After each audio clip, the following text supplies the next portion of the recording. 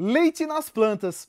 Você sabia que o leite ele serve como um ótimo defensivo natural para combater doenças, algumas pragas e até estimular o desenvolvimento das plantas. Neste vídeo eu vou mostrar como o leite deve ser utilizado, qual a eficácia do leite no tratamento de algumas pragas e doenças e principalmente ensinar você como aplicar. Vem comigo, vamos aprender um pouquinho mais sobre o leite, mas antes eu vou tomar o meu cafezinho aqui, ó, com um pouquinho de leite, porque eu não sou de ferro, sou viciado em café com leite. Vamos lá.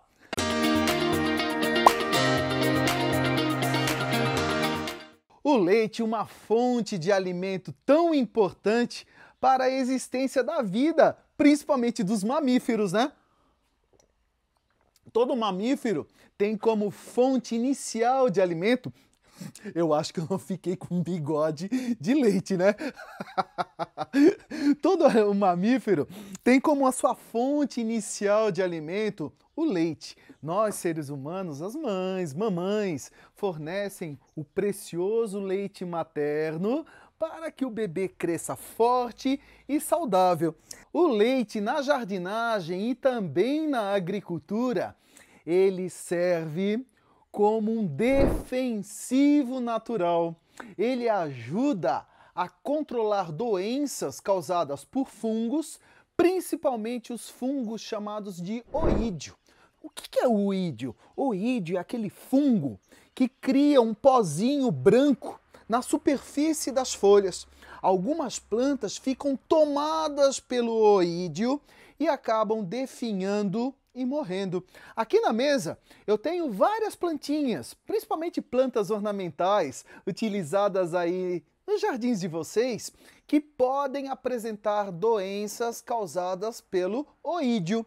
Por exemplo, aqui eu tenho a begônia. Gente, begônia é muito comum acontecer do oídio, esse terrível fungo que se desenvolve muito rápido e acaba tomando conta rapidamente da planta, o oídio ele acaba prejudicando o desenvolvimento das begônias, tá? Ele acaba prejudicando o desenvolvimento dos impáciens, as Marias sem vergonhas, os beijinhos, né? O oídio é um inimigo desse tipo de planta. Mas o leite, ele pode ser usado como um defensor das suas plantas. Ele vai ajudar a repelir, a evitar doenças, principalmente o oídio, e também controlar alguns tipos de plantas. Eu mostrei aqui begônia, mostrei beijinho, nós temos amor perfeito, nós temos pimenta, Tomate, gente, ó, na horta também acontece problemas sérios com o oídio. Por exemplo, tomateiro, né? E várias outras plantas, é, pimenta rosa, várias, várias plantas, o oídio ele pode prejudicar e até matar a sua planta. E o leite, ele não serve só como um defensivo para controlar, diminuir e até eliminar a presença dessa terrível doença. Ele também ajuda a evitar, a evitar que o oídio surja nas suas plantinhas. O leite, ele ajuda também a repelir algumas pragas, como o pulgão, por exemplo, e o leite também serve como um estimulador no desenvolvimento da planta. Mas você deve estar aí perguntando: o que, que o leite tem de tão especial para ajudar a controlar doenças causadas por fungos, especialmente oídio, repelir algumas pragas e até estimular o desenvolvimento das plantas? O leite ele é composto, além da água, ele tem vários componentes. Ele tem cálcio, ele tem fósforo, ele tem proteínas, ele tem enzimas, né? Ele tem sais minerais que ajudam, tá? A tornar a planta mais forte, mais resistente. No momento que eu aplico o leite na superfície das folhas de uma planta, por exemplo, olha só que legal. O leite, ele vai criar um filme, uma películazinha. Essa película é um biofilme, é uma película natural. Essa película, gente, olha só que bacana, ela dificulta a instalação ali dos fungos que vão começar a surgir, a se desenvolver e a dominar a sua planta e começar a se propagar e tomar conta dela. O, a película do leite, ela é um protetor e essa película, ela só é formada com leite integral, gente. É muito importante vocês utilizarem leite integral. Aliás, na agricultura orgânica, o leite já é utilizado como um defensivo natural há muito tempo. Muito e muito tempo. Tá? O soro do leite, inclusive, é utilizado como uma adubação natural. Né? Antigamente, e na atualidade também, principalmente o pessoal que vive no campo, vive da agricultura, não desperdiça nada porque, gente, dá um trabalhão produzir tudo, produzir o leite, produzir a, as hortaliças. Só quem trabalha com isso sabe o trabalho que é. Então, quem conhece esse trabalho, né, que tem por trás de um tomate, de uma berinjela, de uma caixinha de leite, de uma bandejinha de ovos, valoriza o trabalho do agricultor. É né? uma profissão tão nobre e que se não fossem eles, nós estaríamos morrendo de fome, né? Então, ó, uma salva de palmas aí para todos os agricultores brasileiros, agricultores também mundiais, porque os nossos vídeos são assistidos aí por, pelo mundo todo. e aliás, por falar em assistidos pelo mundo todo, eu preciso fazer esse pedido importantíssimo, né? Ô, gente, não se esqueçam de clicar em se inscrever no canal.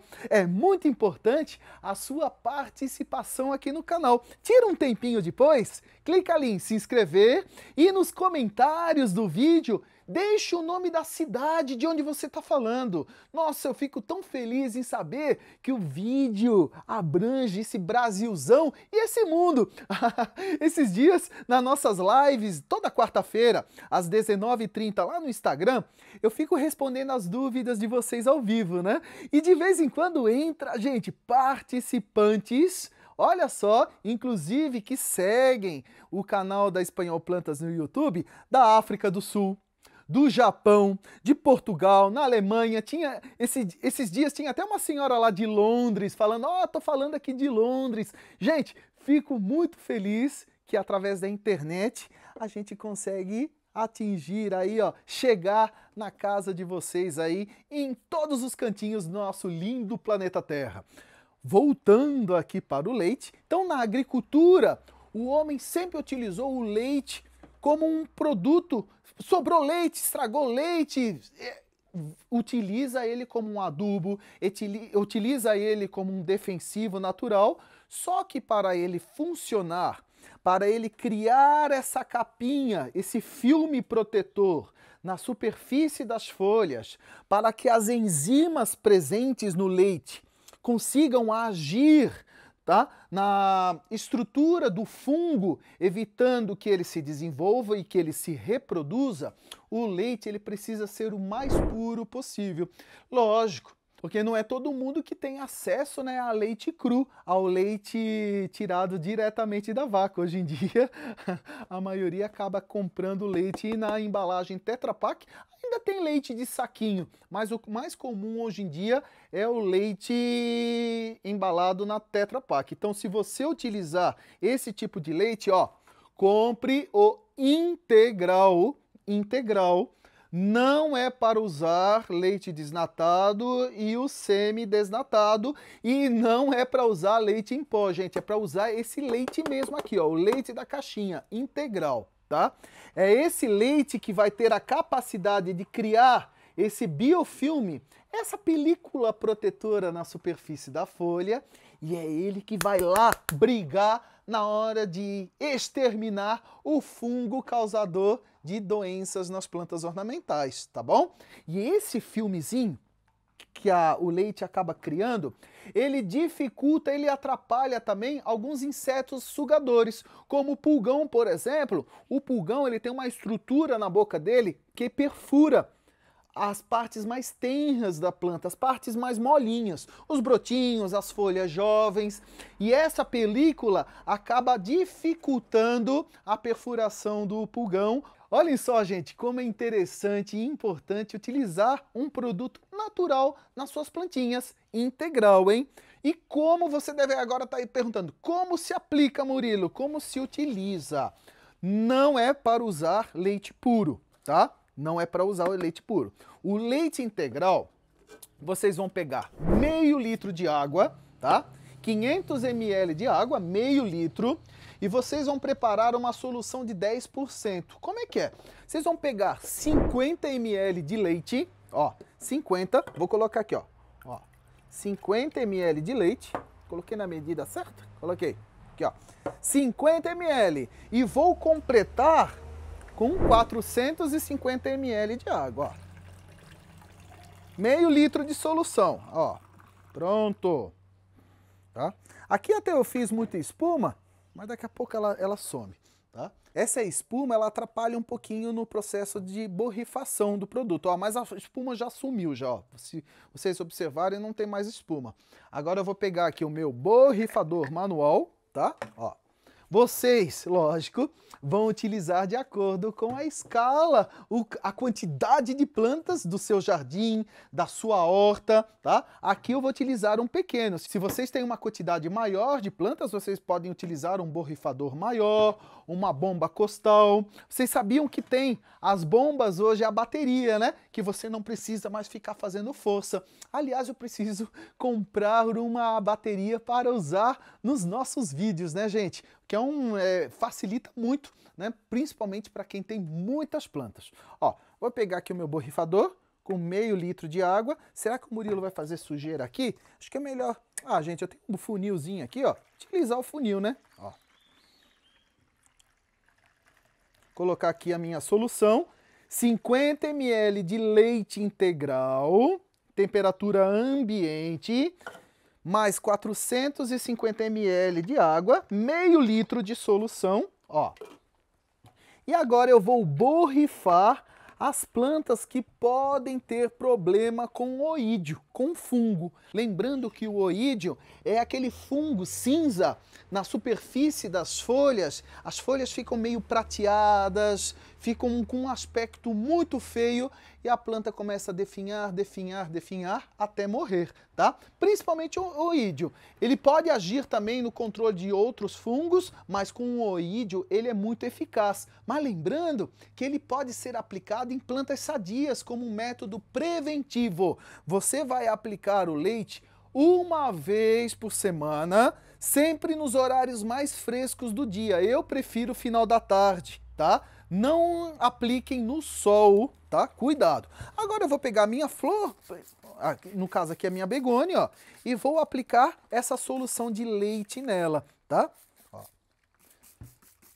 Murilo, fica cheiro. Se você não exagerar na aplicação, ó, simplesmente eu dei um banho nas minhas folhas, ó, o câmera tá pegando, vai ficar sim um cheirinho leve de leite, mas pessoal, agora nós vamos falar um, um papo bem sério. Ai, Murilo, mas vai ficar o cheiro. Gente, vocês preferem um cheirinho de leite? Não fica um cheiro de azedo forte, não, não se preocupa, tá? Mas fica um cheirinho sim. Mas vocês preferem um cheiro de leite? Ah, ou um cheiro forte de fungicida químico, de agrotóxico, de um produto mais forte e perigoso para a sua saúde, que possui um cheiro também bem, bem presente. E aí, qual vocês preferem? Um produto que pode contaminar você, a sua família, o seu animalzinho de estimação, seu, o meio ambiente, se não souber aplicar corretamente, né? Ou vocês preferem um produto que também pode ter um pouquinho de cheiro, mas é um produto natural, não vai agredir, não vai agredir o meio ambiente, não vai agredir você, a sua família e as suas plantas se você souber aplicar.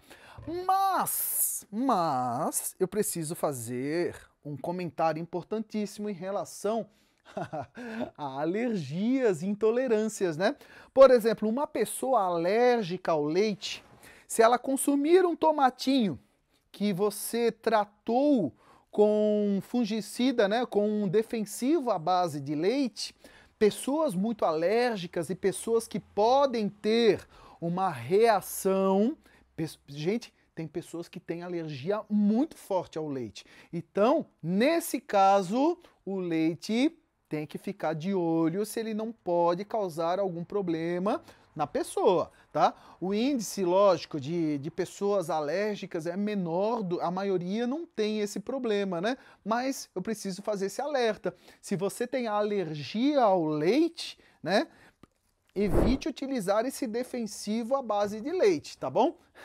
Aí você pode utilizar um defensivo, um fungicida é, como o Xilotron Gold, que é um, um fungicida que eu sempre mostro aqui nos vídeos, um outro fungicida, mas, tá? Cuidado, só se você é alérgico ao leite, né? Mas para você que não tem alergia, vamos utilizar o leite aí como um protetor para a sua planta, ele vai criar esse filmezinho aqui de proteção ó, na superfície da folha. Você vai aplicar por cima das folhas e por baixo também. É muito importante aplicar em cima e embaixo, hein? Tá? Tem que dar um banho aqui, ó. As flores, se você conseguir evitar molhar, é melhor, tá? Agora, se não conseguir, não tem problema, mas é melhor evitar aplicar nas flores. Pronto, apliquei aqui nas folhas dessa begônia. Eu poderia aplicar também em outros tipos de, de folhas, como por exemplo essa begônia caracol, ó. O leite, as, os sais minerais contidos no leite, como o cálcio, o fósforo, quando eles estiverem presentes no solo, escorrer em direção à terra, os micro-organismos vão degradar, vão decompor esses sais minerais e vão acabar tornando ele um adubo para a planta depois absorver, tá? Então, se escorrer em direção ao solo, não tem problema, porque ele também ajuda a fortalecer a sua planta e a estimular o desenvolvimento e a resistência. O cálcio é muito benéfico, né? Aonde esse cálcio vai lá no solo, vai passar por um processo onde os micro-organismos vão disponibilizar ele para a raiz absorver. Olha só, begônia tratada com leite. O tomatinho também vai ser tratado com leite. Ó. Gente, no tomate, na abobrinha, tá? Berinjela, várias culturas que podem ter problema com, com oídio e outras doenças, o leite é muito benéfico, ó. vale a pena cultivar. Você aí que é fã dos beijinhos, ó, das Marias Sem Vergonhas, os beijinhos, gente, esse dobrado aqui tá lindo, né? Olha só, também pode utilizar o leite, um produto natural, um produto que vai ajudar a proteger as suas plantas e torná-las mais fortes. Olha só que legal! Se você gostou do vídeo, dá aí o joinha, deixa aí nos comentários se você já utilizou o leite ou já viu alguém utilizando esse método natural para controlar doenças e tornar suas plantas mais resistentes. Não esqueça, gente, de se inscrever no canal, ativar o sininho das notificações deixar aí um comentário de onde você é e não esquece de aparecer lá na live da Espanhol Plantas toda quarta-feira às 19h30 lá no Instagram. Se você ficou com alguma dúvida em relação a algum vídeo aqui do canal, pergunta lá no Instagram da Espanhol Plantas que eu respondo vocês ao vivo. É isso aí. Um beijo, um abração e até o próximo vídeo. Tchau, tchau.